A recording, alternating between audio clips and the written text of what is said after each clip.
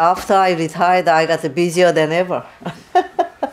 we are here to retire and uh, have a leisure life, but uh, no, no longer leisure life because uh, we, we have been busy. We are known to be an integrator and uh, try to be mobilizer. When I moved here, I realized that uh, there are about 10% people of color are living in here. They felt uh, they are still outsider.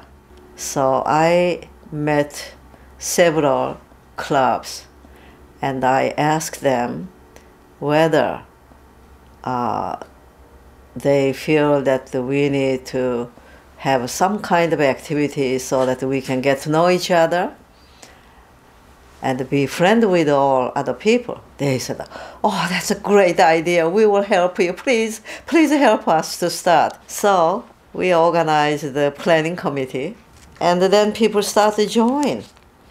And uh, we had a really successful multicultural festival in Leisure World.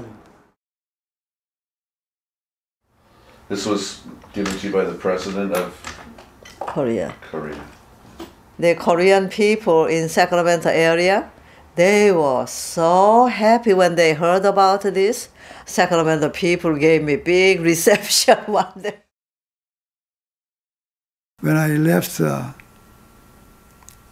two years ago, I established the Luke and Grace Kim Endowed Professors Professorship in Cultural Psychiatry.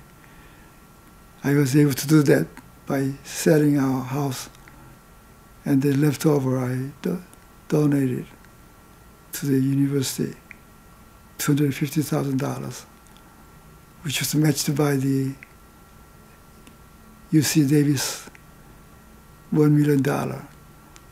So I feel very proud of that. You know, he's a basically very uh, shy and a humble person. And he does not brag about what he accomplished.